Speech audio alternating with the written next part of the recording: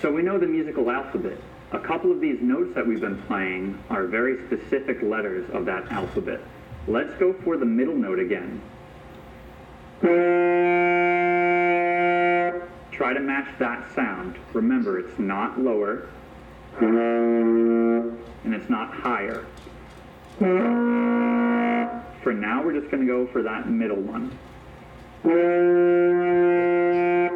Play it with me. That is a letter of the alphabet, and it's the letter F. So think of the letter F while you play that note again. The lower one that we can get is another letter of the alphabet. It starts with a B, but it's actually called B flat.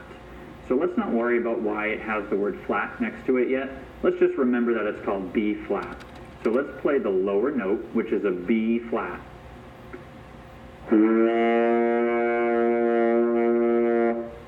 Try it with me. Let's play the one that's a little bit higher, the F.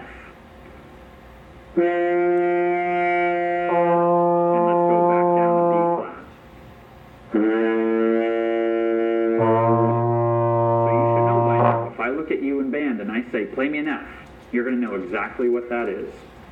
Or if I look at you and say, play me a B flat, you'll know what to do.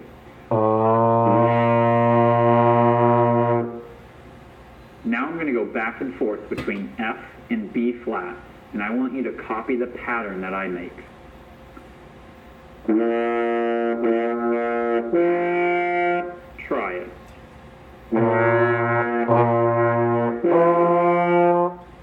Different one this time.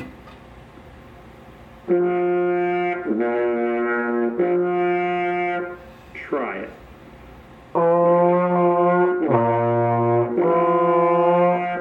Let's do one more. Listen.